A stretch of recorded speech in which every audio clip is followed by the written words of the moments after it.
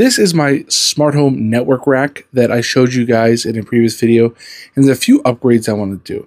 So I have these network attached storage systems on the lower shelf here and up at the top, and I want to move all of my NASs up to the top so they're all in one spot. The other thing is that I just added fiber internet, and here's my ONT, and that gives me up to 2 gigabits of internet speed. However, these old switches here are actually less than 1 gigabit, so they don't even provide me with half of the speed I could have, and I want to change those out. My UniFi router is capable of up to 10 gigabits, but not in the configuration it's in, so we need to change that. I'm going to fix that with these two devices right here. The first one is a 10 gigabit adapter that adapts to an Ethernet cable so I can get 10 gigabit in for my ONT. And the other one is a network switch from UniFi. This network switch has four PoE ports and four regular ports, all gigabit capable, and it's going to replace those two switches there. My Wi Fi access points are connected to this switch and that's limited to 100 megabits. So this thing is going to be a monster and really change up both my Wi-Fi speeds and everything else.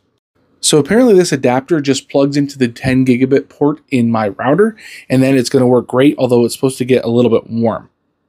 This network switch from UniFi is pretty cool because it's a managed switch, meaning I can control individually those ports, and also because when it's adopted into the UniFi system, you can see a lot of information about it. Really cool. Cool. Okay, so to add this adapter, we just pull this cover off of the port here in the corner of my router, and then we carefully take the adapter and slide it into that slot and shove it all the way in.